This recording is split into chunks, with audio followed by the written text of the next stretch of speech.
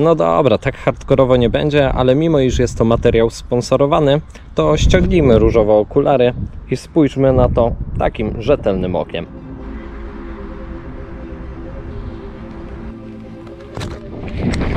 Jak zapewne zauważyliście na moim kanale, różne składaki elektryczne, jakoś po prostu ta kategoria mi się spodobała, dlatego że w moim samochodzie nie mam haka, bagażnik dachowy nigdy nie wydawał mi się super rozwiązaniem, więc takie dwa rowerki zapakowane na tył i nie przejmowanie się tym, czy gdzieś spadną, czy mogę jechać autostradą, czy może zwolnić, czy gdzieś zawadzę, czy spokojnie zaparkuję, no to wolę je wrzucić i wsiadać z żoną, jechać gdzieś, przejechać się i się nie przejmować, szczególnie, że ze względu głównie na pracę, no nie mam możliwości zapakowania się i jechania na cały tydzień w sezonie, no po prostu to są jakieś krótsze weekendowe wypady, więc taki rower na krótsze dystanse spokojnie się sprawdza. To lećmy z konkretami. Sztyca wysuwana, chociaż według mnie w trochę dziwnie małym zakresie. Rower sprawdzi się dla osób do 1,75 cm, ale mamy nieregulowaną kierownicę, więc w zależności od wzrostu będziemy mieć tą kierownicę w sam raz albo jakoś tak trochę niżej, ale sam rower jest dość krótki, więc nie doktoryzowałbym się. Rzeczywiście ten brak regulacji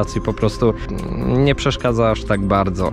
Może trochę rzeczywiście dłuższa sztyca miałaby tu jakiś większy sens. Jest w ogóle totalnie mega prosty w obsłudze. Powiem Wam w porównaniu do tego, co miałem możliwość już testować, to tutaj napęd jednorzędowy, bo mamy wolnobieg, zwykły łańcuch, duży blat tutaj.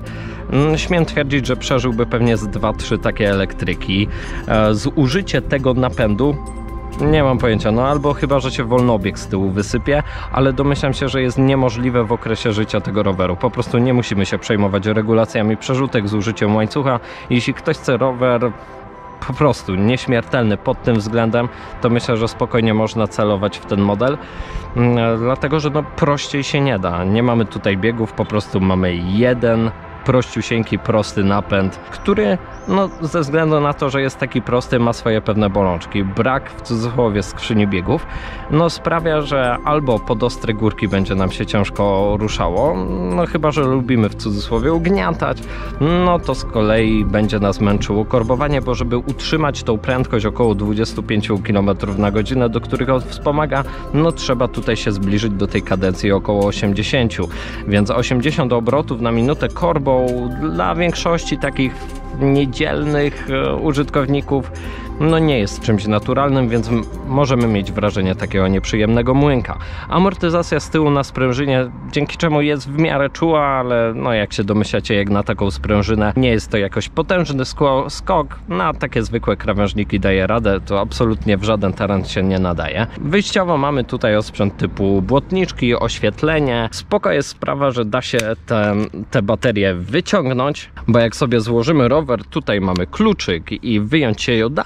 Tak samo z plusów mamy obręcze sztywne, bez szprych, to nie wymaga centrowania. Jak się uszkodzi, to się wymienia. Proste łożyska kardridżowe w piastach, to prawdopodobnie tak samo przeżyje cały ten rower. Hamulce tarczowe no, na linka, aczkolwiek przy tak małym kole naprawdę nie potrzeba tu wiele więcej, bo spokojnie to koło bez większego wysiłku blokujemy. Stabilna podnóżka, no i spoko, bo przy składaniu mamy takie magnesiki, które łapią nam tę całość. No zresztą jak widzicie tutaj bardzo prosto się to otwiera. Stabilny zawias to trzyma. A tutaj widzicie, wskakuje to niejako na swoje miejsce, więc bardzo fajnie się to trzyma. I jak chcemy to rozpiąć, to przekręcamy kierownicę i ten magnes nam puszcza. Składamy to w ten sposób i jest gotowe do jazdy. Także po mieście jeździ się tym spoko. W teren, tak jak powiedziałem, nie pchałbym się tym absolutnie, bo no, kakofonia baterii, nawet jeśli byśmy ją wygłuszyli, to ten rower po prostu w terenie nie prowadzi się jakoś e, stabilnie.